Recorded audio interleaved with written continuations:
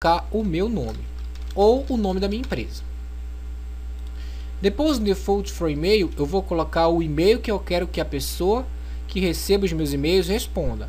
No caso, quem recebeu o e-mail pode ser o meu e-mail mesmo, admelanribeiro.com.br. Aqui eu vou dizer o assunto do meu e-mail.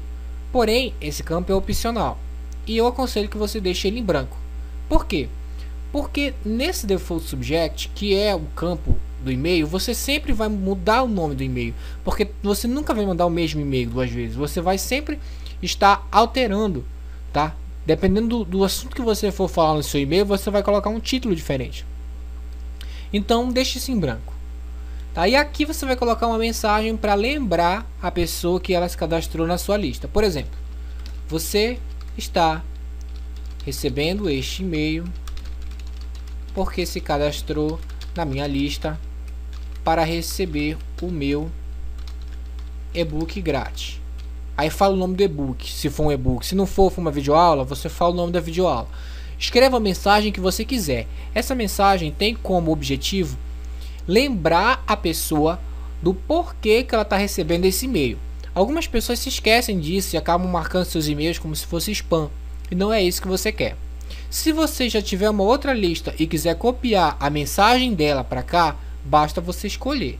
Mas nesse caso não é necessário porque eu já escrevi uma mensagem aqui. Muito bem.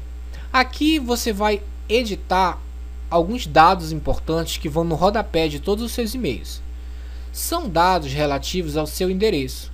Isso, isso porque, pelas leis internacionais anti-spam, você não pode ter, tá? Você não pode enviar um e-mail sem que os seus dados de endereço estejam no rodapé.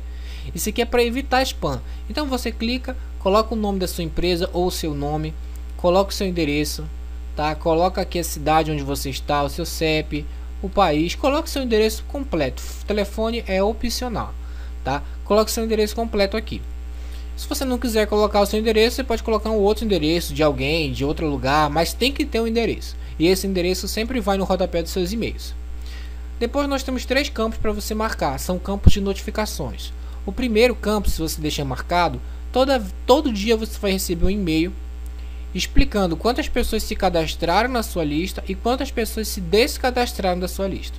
Se você deixar o campo de baixo marcado, esse campo aqui marcado, você vai poder receber um e-mail toda vez que alguém entrar na sua lista. E se você deixar esse outro e-mail marcado, você vai receber um e-mail toda vez que alguém sair da sua lista. Você pode deixar os três marcados, você pode deixar só um marcado, você pode deixar nenhum.